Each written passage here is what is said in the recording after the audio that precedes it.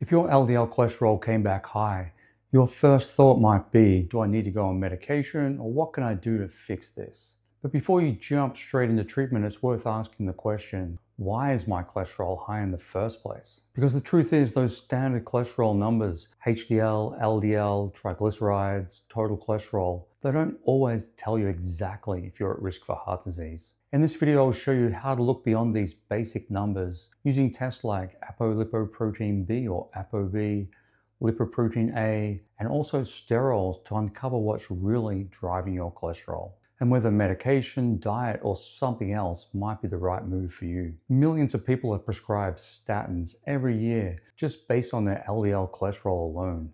But it's just one piece of the puzzle. Some people can have high LDL because their liver's making too much cholesterol. Other people can be absorbing too much from food and bile in the gut. These two causes can look identical on a standard blood test, but the treatment's completely different. And that's why it's important to dig a little bit deeper before making these big decisions about your health.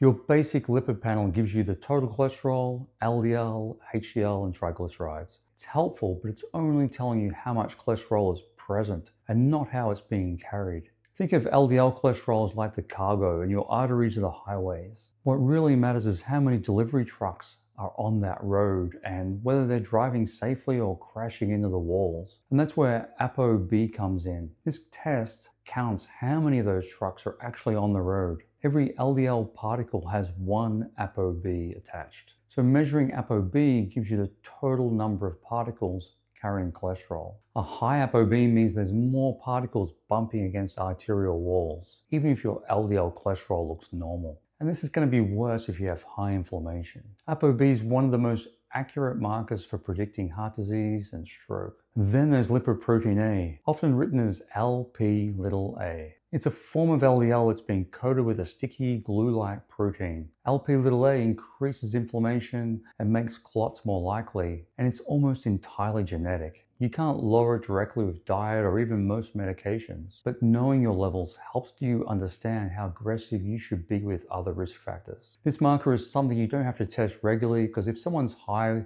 or low when they're young, they're always going to be high or low for the rest of their lives. So far I've talked about how much cholesterol is being carried around in the blood, but sterol testing can help us understand why it's high. They tell us whether your body is producing too much cholesterol or absorbing too much from the gut. Desmosterol and lathosterol are the production markers. If these are high, your liver is overproducing cholesterol. Campesterol and sitosterol, they're the absorption markers.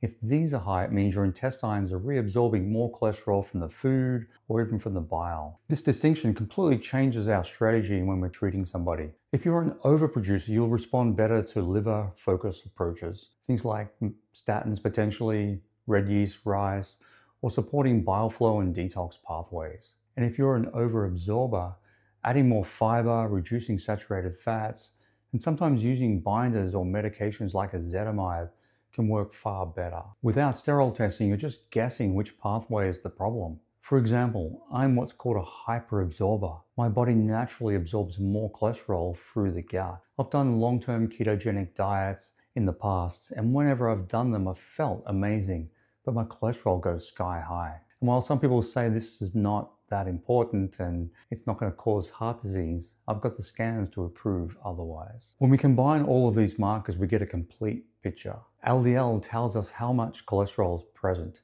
ApoB tells us how many particles are carrying it. LP little a shows if those particles are extra sticky and inflammatory and the sterols reveal why cholesterol is high in the first place. And when we have that information, we can personalize your treatment plan instead of relying on guesswork and just doing the same thing for everyone. Because the goal isn't just to lower the numbers, it's to understand what those numbers mean. So if your cholesterol is high and you're being told you need medication, ask for more information before you decide on what to do next. As a minimum, check your ApoB, lipoprotein A, and sterols, and they'll show whether your cholesterol is actually the risk and what's driving it. All of these can be tested on the CardioZoomer test, including other markers for inflammation, oxidative stress. And if you want to find out more about this test, watch the video on the CardioZoomer next.